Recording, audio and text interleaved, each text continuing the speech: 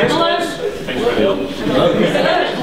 Hello, everyone. Um, my name is Tiny. Uh, can you guys all hear me at the back? Yes. Great. Uh, my name is Tiny, and I'm a senior data scientist at Canva.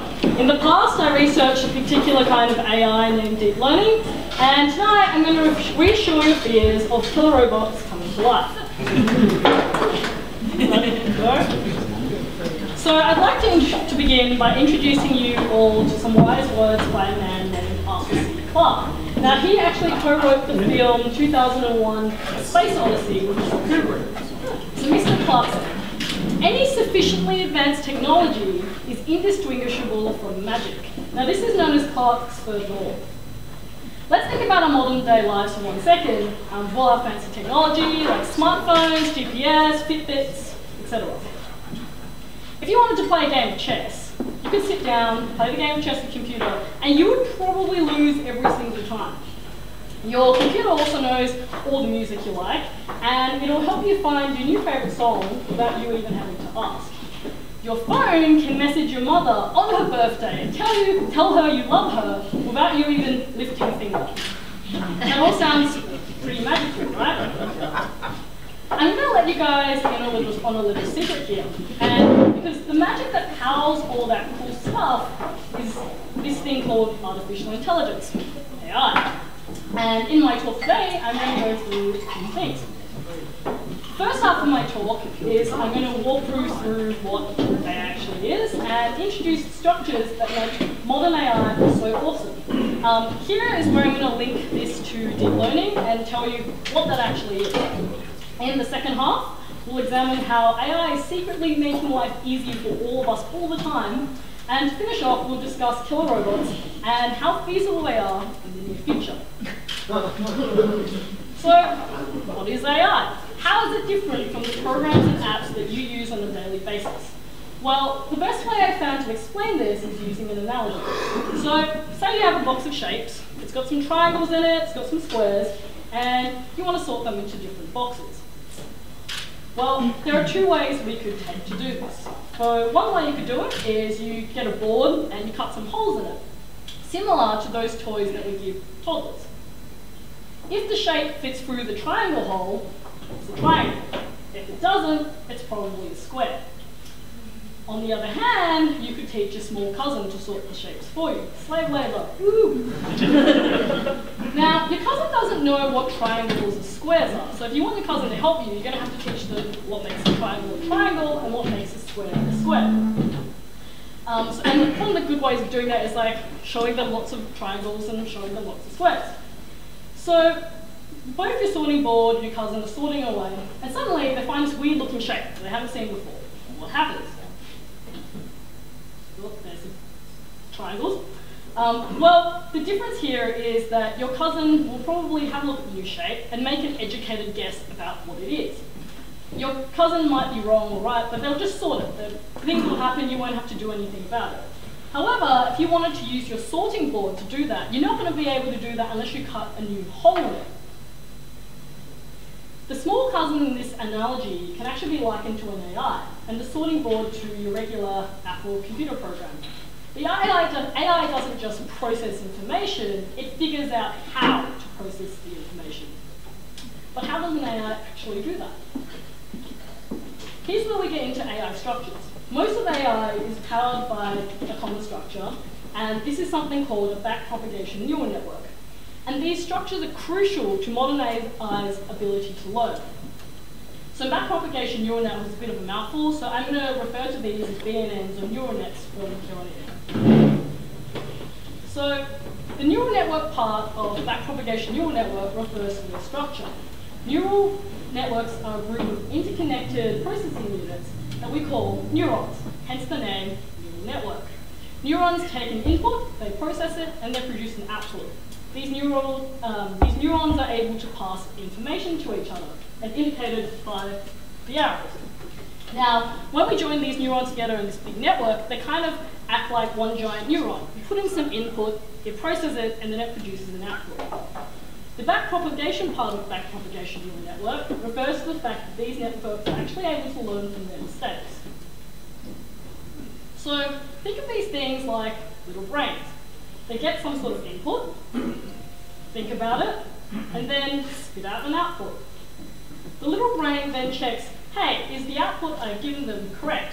If it's not correct, it takes these mistakes and it learns from them. So it doesn't make the mistake, the same mistake again the next time. It's like when you're, you know, wandering around the shops and you smell something really nice, say like cinnamon scrolls. You're like, oh yes, I love cinnamon scrolls, I'm gonna fly, I'm gonna eat so many of them. Then you go find the source of smell and it's actually a candle. And you just, you're just disappointed, right? And your brain learns, because your brain's like, oh, that was a really disappointing experience, I'm gonna learn from that and not do it again. So we teach these little brains by showing them lots of examples of stuff that we want them to learn. If we wanted this neural network to help us with the triangle and square problem that I mentioned earlier, like our small cousin, we'd probably just show the neural network lots of examples of what is a triangle and what isn't. This lets the little brain learn what makes a triangle a triangle. Here are some different neural networks, and um, there are many variants of these neural networks because we can arrange them in specific configurations and put special restrictions on them such that they behave or think in different ways. This is why we're able to apply neural networks to so many problems. So this brings us to the deep part of the talk. And believe it or not, it's like the simplest part of my talk today. So neural networks have their neurons arranged in layers, like so. As you can see here, the first layer has two neurons, the second layer has four, and the third layer has three. When we talk about deep learning, all we're talking about is a neural network with lots of neurons in it. And the more layers a neural network has, the more it is able to represent complex ideas. That's what the deep part of deep learning means. Deep learning means lots of layers. It's like how an instruction manual printed on a single A4 sheet of paper can only explain so much. If you had more pages, or if the piece of paper was bigger, you can just put so much more information, so many more ideas on it. Now that we've wrapped our heads around what networks are and what deep learning kind of is, let's have a look at how we use these things in everyday life. And believe me, these neural network things, they pop up everywhere. So I'm going to talk about three kinds of technology that utilize deep learning in everyday life. That is recommendation, computer vision, and playing games. So this is an actual recommendation that I think iTunes threw up about 10 years ago. If you like Britney Spears, you might like the report on pre-war intelligence. now, we've come a long way since these really bad recommendations. Spotify and Netflix are known for their excellent recommendation systems, and the algorithms that power these systems actually crunch through mountains of data every day in order to be able to provide you with such good recommendations. So both Spotify and Netflix use this technique called item-based collaborative filtering. And what this is, in its most basic form, is given some collection of items, say Spotify's song library, and it calculates the similar, like which items are similar to what other items in that collection. It then recommends you an item if you've shown interest in a similar item. So in this example, Bob has listened to song one. We know that song one is similar to song two, so Bob's pretty likely to listen to song two. In reality, these recommendation algorithms are much more complex and deep learning makes up only a very small part of the overall system. So, for example, at Spotify, when given a playlist of, of your favourite songs, they want to be able to predict the next song to join that playlist. Spotify utilizes a particular kind of the neural networks that I mentioned earlier. These are called recurrent neural networks, RNN for short. And when given a sequence of items, the RNN tries to predict which, which will be the next item in that sequence. So Netflix is, was pretty serious about its recommendation, and so much so that back in 2006, they launched this competition called the Netflix Prize. And this competition offered a $1 million cash prize to the people who could come up with the, the, best algorithm that predicted the user ratings on their movie, on their movie, sorry, most accurately. So they, they closed that competition about three years later, and the prize was awarded to a team whose final algorithm used a combination of about 100 different techniques to predict user ratings. This team and another leading team used another new kind of neural network called restricted Boltzmann machines, RBMs. RBMs were one of the few early techniques in collaborative filtering that allowed um, the collaborative filtering algorithm to handle large data sets. And given that Netflix's um, database had over 100 million user ratings, this was super important to them. So moving on to computer vision, cats versus dogs. How many people in this room think the image on the left is a cat and the image on the right is a dog?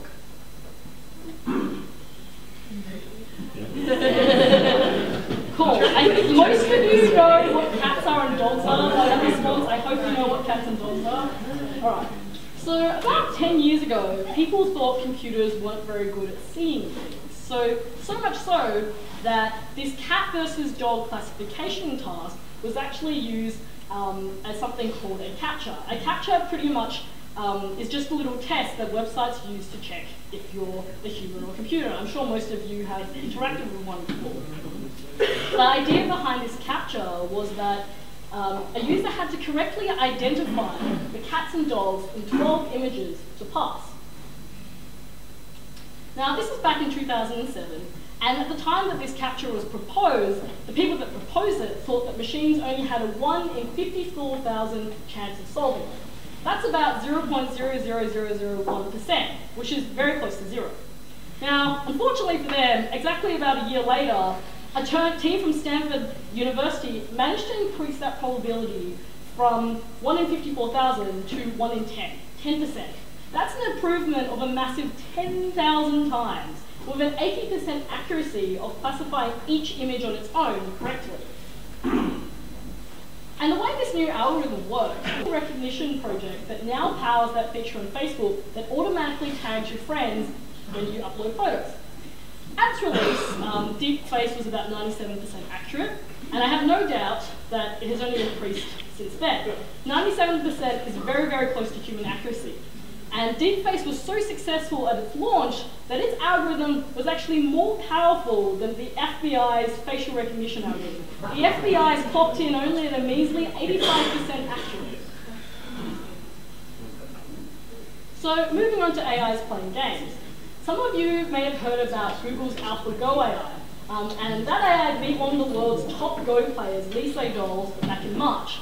Mr. Lee was beaten soundly with a 4-1 um, in a spectacular five-game series. Now this was a huge deal at the time, um, because this is the first time a computer program had beaten a human, professional human player in the game Go. Go has traditionally been a really difficult game for, com for computers to play, because of the complex nature of the game. To give you an idea of how complex Go is, there are more possible positions in the game Go than there are actions in the universe. Now, this isn't the first time a computer has beaten a professional human in a relatively complex game. Back in 1997, IBM's Deep Blue chess program actually beat world chess champion Garry Kasparov. And it did this by searching at each point in the game every possible move and then choosing the most optimal one. Now, a googol is a massive number. It's number one followed by 100 zeros. And Go is one googol times more complex than chess.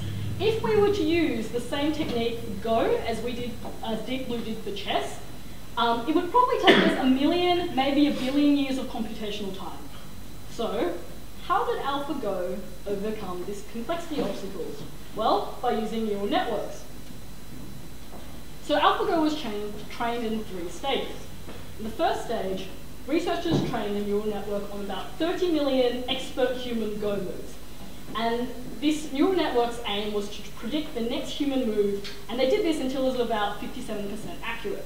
Now, it's no use being able to mimic human if you want to beat them. So, they then taught AlphaGo how to generate new strategies and new moves by having it play itself thousands upon thousands of times with different strategies each time. Finally, AlphaGo was taught to assess the quality of each strategy at each position in the game by looking at the likelihood of winning of that strategy. As a result, AlphaGo is optimized for winning games and they will, it will always choose the strategy with the lowest likelihood of winning. Now this is really interesting. When we compare this to common human strategies, we find that human strategies often favor winning with a higher point margin between players even when the plays are risky. Perhaps you could read into this uh, philosophically, computers aren't slave to the same emotions as we are. Agree. So to finish off this talk, I'd like to discuss one more AI technology, killer robots. And we're going to discuss, the one we're going to discuss today is the classic T-800 Model 101 from the Terminator theme. What would it take for us to create the Terminator? So robotic body aside, the Terminator is one crazy piece of AI. In the Terminator 2, the Terminator states, the more contact of humans I have, the more I learn. Now, what does this actually mean? So, the human, uh, the Terminator is able to converse naturally with humans. You could be talking to the Terminator, you wouldn't know that it's a robot. It can imitate the voices of humans, and it can even read human emotions. Um, physically, uh, the Terminator can run around, it can avoid obstacles, it can shoot a variety of weapons, it can drive a tanker and any, many other vehicles. Interestingly, the Terminator also learns to swear, as well as learning his now favourite catchphrase, hasta la vista, baby. So the Terminator being so skilled at so many things um, means it's a great example of something called strong AI. Strong AI is AI which has intelligence equivalent to a human being. All the technology we've discussed today, recommendation, computer vision, and gameplay, are examples of weak AI. And that's where AI is taught to focus on one specific task. To put this in perspective, we humans have only just taught machines to do specific tasks well, let alone better than other humans. For us to create the Terminator, we would actually need to be able to teach an AI thousands upon thousands of simple human tasks that we take for granted every day, and to a level where it could be better than humans. There are currently too many problems in AI that need to be solved before this can happen, unfortunately. Considering how little progress we've made so far, the possibility of sentient robots arriving in the new future to kill us all is pretty unlikely. For example, bipedal motion. That is, walking on two legs, right? And that's something robots do really poorly. We do this all the time without even thinking about it.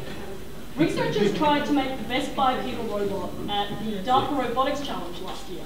Now, DARPA is the US government's uh, military research center. Every year they hold this robotics competition so that um, the world's best and most expensive robots can be showcased and can verse each other. I'd like to show you this short video to emphasize how difficult robots find to do something that we without even thinking.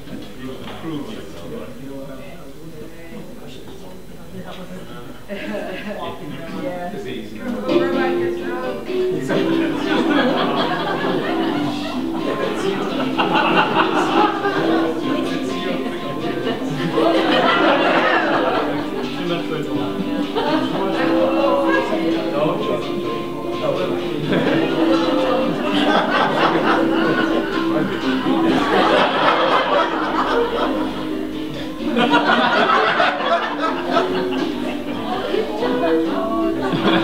Throat?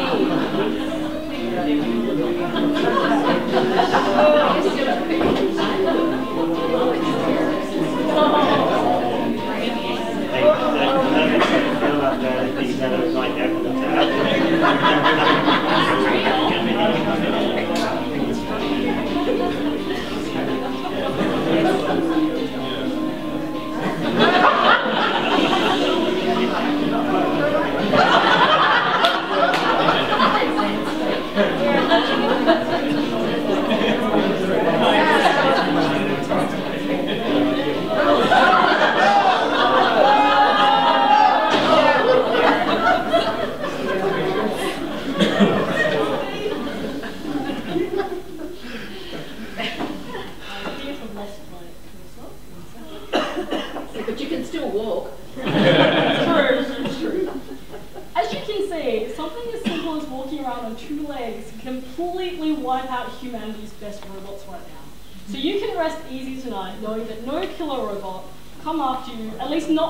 looks and acts like a.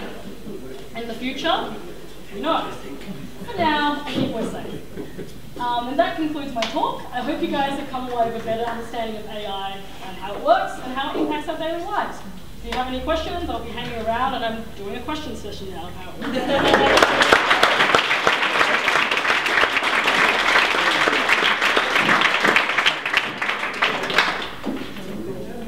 apparently. Hi. Alright, questions and answers. We have one over there.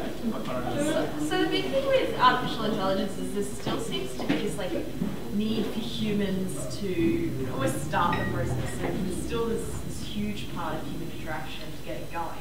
From there, things seem to be able to kind of, you know, it's got that neuro kind of capability to be able to go from there. So like, you know, what start from the beginning? So. So that's kind of like that weak AI versus strong AI thing I talked about earlier. Um, for machines to be able to decide, you know what, I'm going to learn how to hack your passwords tomorrow, it's going to be at a level where it's got that human intelligence. But I guess like it's interesting because that almost brings in a philosophical part of it, and that is like, is does being intelligent mean you can like have you? Does that mean sentience really? And and I think I'm not, I don't think I am qualified to answer that question, but that's certainly something you have to answer because even if we make computers super intelligent, so that's the level beyond strong AI where they're more intelligent than us, that doesn't necessarily mean they're sentient. So I guess it comes down to that. Sentience, is that the same as intelligence? Couldn't you say that all you need to do is teach AIs how to learn? By that one skill, everything else comes. Yeah, that's true. Um, and it's interesting because in teaching AIs to learn, um, there's a uh, there's this huge push at the moment to teach. Um, I know Elon, Elon Musk really supports this idea of uh, teaching machines to learn, but also teaching them to learn morals. And that's like, you know, when, you, when you're a kid, you learn that like you, you were sad because some kid hurt you, so you're unlikely to go and hurt that other kid. Well, a lot of people think that it's really important to teach machines that as well when they're learning, teaching them to learn new skills because if we don't do that, then it's quite likely we will end up machines that will have some singular purpose, say um, making paper clips. And the machine might just be like, all right, my goal is to make paper clips, I will learn all the skills I need to make these paper clips. Now the machine ends up spitting out lots of paper clips, it optimizes the factory, and then it's like, well, I want to make more paper clips. I'm going to hack my neighbor's factory and, um, and make more paper clips. So machine does that because it's learned to do things.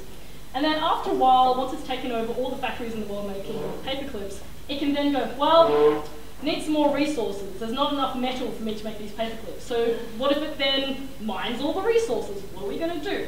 So in that sense, it's really important for us to teach this AI, cool, your job is to make paper clips, but you shouldn't hurt people or hurt other systems along the way. So I guess that's a thing that could happen, but if we balance that out with teaching machines ethics, then maybe we won't end up in a universe full of what could go wrong?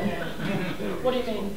well, I mean, a teacher's comment, you know, if we're hoping that um, we only use it for good, not evil, uh, what could go wrong? Many things, I guess. Um, I mean, if you guys have seen, I think, The Avengers 2 or 3, Rise of Ultron, like, that's what's going on. Like, we could create Ultron. Um, we could create things like the Terminator. I guess, like, a lot could go wrong, but we need to, like, I guess we need to put faith in the people uh, designing and creating these things that they won't be terrible humans. So, I mean, currently, um, it's really interesting because I think in Japan they've started to create sex bots. And they actually want to pass some laws to make it illegal to, um, what's the word? Uh, take advantage of robots um, for like you know, sex and, and, other things. You can't enslave robots. So I think um, legally it becomes very interesting as well. So hopefully humanity learns to regulate itself. So what is going to be using AI in driverless cars? Um, so what I was talking about before, um, computer vision. So um, when I when I was a student, my supervisor was actually um, doing something where it did object recognition in video. So the things I showed was like object recognition and static images. But when you do object recognition in video, that's when you start getting into things like driverless cars, because they've got to be able to constantly be observing the, the world around them and knowing what those things are. Um, so yes, it's definitely in use um, with uh, driverless cars.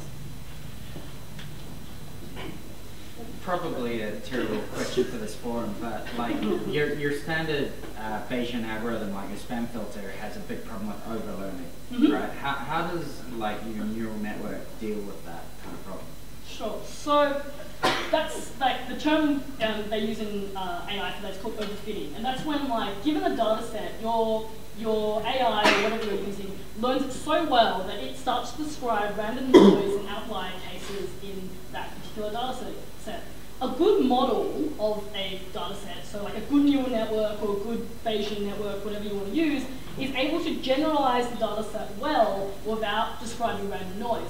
And there are many techniques you can use to do that. Like one thing people use is they cut their data sets into bits and they train the model on one part and then test the, whether the model is good on this other part of the data it hasn't seen before. And that seems to work fairly well in having the AI not super gener generalize one set of data. Sorry, just um, on the back of that question, so how important is it to have a proper data set before you feed it into? So does that mean you have to do some preparatory work before you feed Yeah. the input into the? Yeah, so like um, the particular technique I've talked about, they call it n-fold segmentation. And so what would happen is, given a set of data, we might, if we had a five-fold, what we would do is we would create five um, variations, five copies of this data set. And in every single um, of those five variations, we take out a little bit from that variation and hide it. So we then train that model on each of the little variations, and on each of the variations, it then tests itself on the unseen data. Um, so that's one way to prepare um, data. Um, interestingly, the DeepFace project that I mentioned before with Facebook, um, they were able to get that thing to be so accurate purely because of the volume of data they had access to. So I don't know if you guys remember this, but it was maybe like five years ago. They, if you logged into Facebook, it would be like, hey, we think you're a dodgy person. Can you recognize your friends in these photos? And really, they were gathering data for their like little project. So volume of data and volume of data definitely makes a huge difference in training human AI. Uh, any more questions? No, that's it. All right.